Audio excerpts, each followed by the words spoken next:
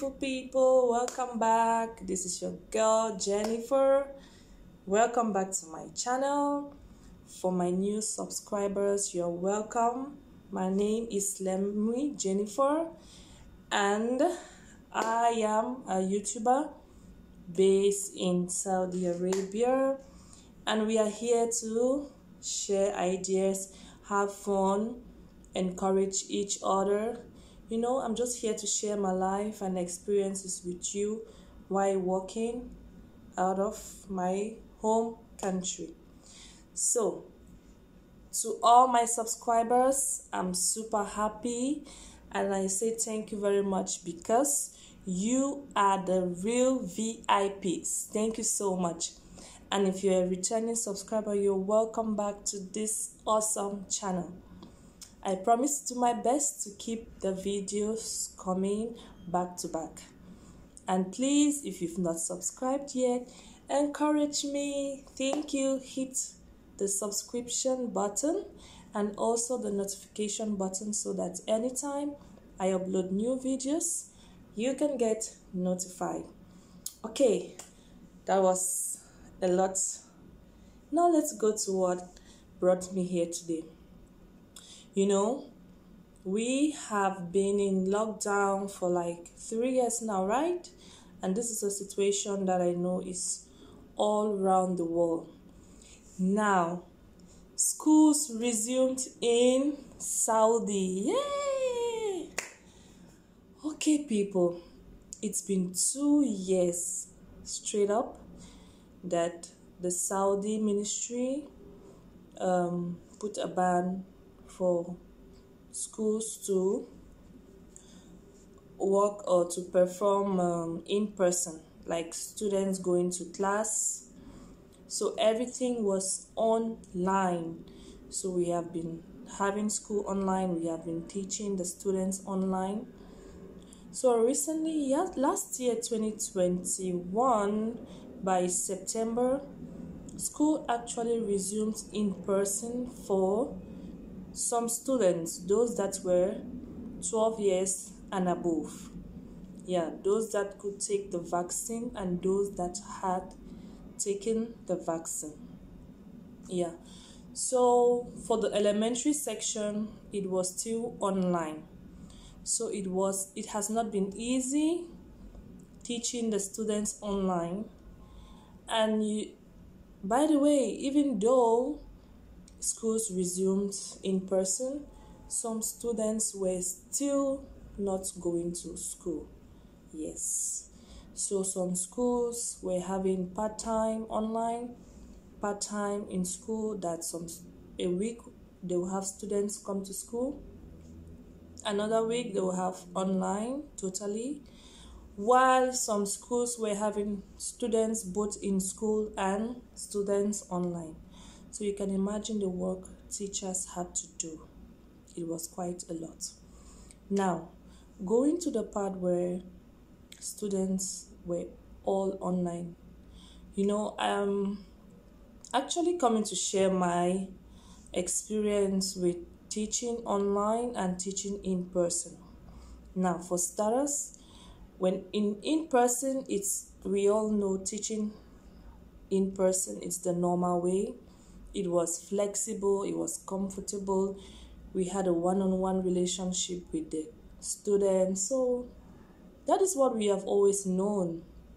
Now, with the new change online, first thing we had to make a lot of adjustments to the new technologies, the changes, learning how to use the platforms, the online platforms that we had to use to teach the students First, we had to learn that.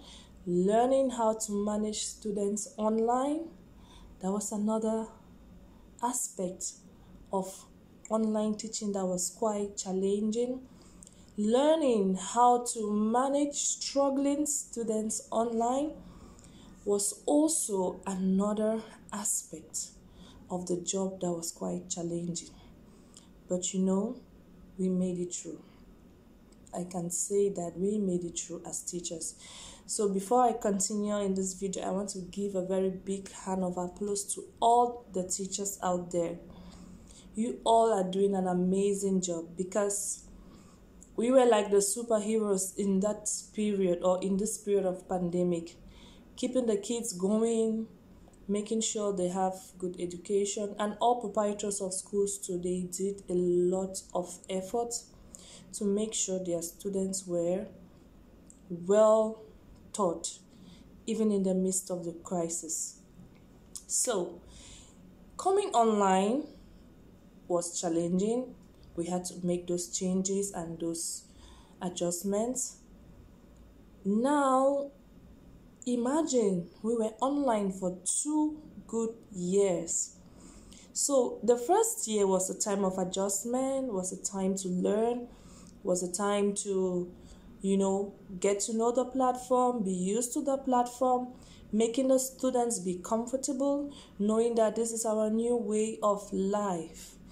So we succeeded. We succeeded in having the students be online. We taught online. It became easy. Teaching became easy online. We managed to have students that were still doing great online. We managed to have students that could still understand and grasp and master the lessons online. We managed to have quizzes and evaluate the students for an entire year. It was good, everything went well. And the second year, the same thing. So it had become a routine the kids were already comfortable. And during this time of online learning, a lot of the parents stepped in, um, particularly for the younger kids, from I can say from elementary to KG. So it was challenging but good enough. Most of the parents beca- became more engaged in helping their kids at home so it made the work easier and lighter for us. So that's it for the advantages though. Now in every good thing there is always a disadvantage of course. So talking about the disadvantage the difficulties we had online. We had a difficulty of the first challenge we had was having a one-on-one relationship with our students. Imagine you had kids who just left from KG, for example, to come to grade 1, or some kids who had never gone to school, and the first time they have to go to school, it's on a computer, seeing their teacher on the screen. It wasn't easy to have to build up that relationship with these students, with these kids you know, a teacher student relationship is always very necessary and important. It plays an important role in the student's academic performance. So that relationship was usually shaky was it wasn't easy because online being online and seeing someone on the screen is very different from seeing them in person and building that student teacher relationship.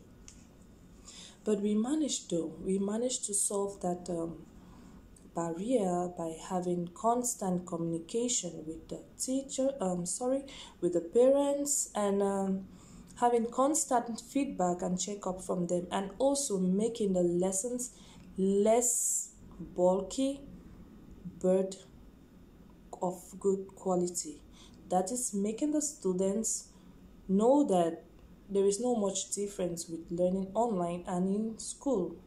So we made the environment comfortable and made learning quite um, easy and enjoyable too. You know, with children, we have to use strategies that will make them learn while having fun. Now, the second challenge we had was having a proper follow up of weak students. You know, in every classroom, we have high average students that's higher above, like um, A students or A plus. We have um, average students and we have below average students. So it's a teacher's responsibility to know how to strategize and make each kid reach a standard that is um, available. Um, sorry, that a standard that is going to make that child's performance improve from one level to another. So online, it was quite difficult because, especially for the below average students, because with every below average child, the best and most convenient solution is usually a one on one, a tete a tete session with the teacher. Yes, it's usually the best solution a one on one session with a teacher regularly, it's usually the best strategy to change a below average student to probably average and probably to an A student. So it was so challenging to do that proper follow up because it was online. You know, having a tete a tete with a student online it's the same way like after having a session a classroom session after having about um, six hours online teaching a kid and you have to call that kid come meet me after school. It's so hard. They are tired. They are tired. They are exhausted. These are kids below 10 so it's never easy for them to stay back for you to have that one-on-one with them. It was generally not easy at all. So, the way we solved this was having the parents' input. And um, personally, I contacted the parents of these students that were below average. They had to do an extra effort at home with their kids. So we helped them, give them materials, we help them, tell them what to do in order to make these students pick up or catch up with the rest of the class. Yeah. Now, the next challenge we had about online teaching was managing the students. Imagine you have a class of about 15 students and you have to manage that class. Now, these kids are in their homes. Some of them are taking classes from their bedrooms, some of them are in the living rooms, some of them are in the kitchen, some of them are some probably even in the bathroom. What can you do? So managing the kids online was so so challenging having them leave their cameras open, having them mute their mics, having them talking when they are supposed to talk, having them not interrupting the teacher. Oof. Discipline was another thing. And you know, at home they have their families around. If the kids are trying to focus, maybe a family is at the background doing something that is interrupting the lessons. And once a child's lesson is being interrupted, the others are seeing. So it was quite challenging telling this kid, sit in a position where we can't see around you, put a background. It was so, so challenging. And you know, we're teaching kids. Some are six years old, some are five, some are seven. They are so young. And they some paying attention online it wasn't an easy thing for them. Some of them will be in class and they are playing their video games. Yeah, some of them are in class, maybe watching movie or watching the TV. Some of them are in class and they're using the same iPads they are using to study, to play games. You're in front of your screen. How do you do to stop that child? How do you do to make that child focus? So you can see how online was challenging. But then it was an experience that I would say was a learning experience that made us know that change is something very constant in life and we should be ready to accommodate change at all times because it's something we didn't expect. But good enough, technology has advanced and we succeeded. Now, for disciplinary and class management, we had to use measures of um, we have a, something we use in school a platform called ClassDojo where the kids have points. If they do good performances we give them points. If they're going against the rules we can take points. So that's just one of the ways though. So we had other ways well that was it for online um that's just a brief summary of online experience i just wanted to give a recap of how it went for the two years that we were online now, coming back to school. Before we continue, please hit the subscription button because we have more gist. So, coming back to school, on the 23rd of January 2022, the Ministry of um, Education in this kingdom announced that in person school for all students is going to resume on the 23rd. So we were like, we teachers had a mixed feeling. Some of them, some teachers didn't want to. We had gotten used to, especially um, parents, like teachers that are parents, like moms or dads, especially moms. The moms had gotten used to the routine. They're at home. They are working from home. It's convenient to take care of their kids. At the same time they are working. So it was a mixed feeling.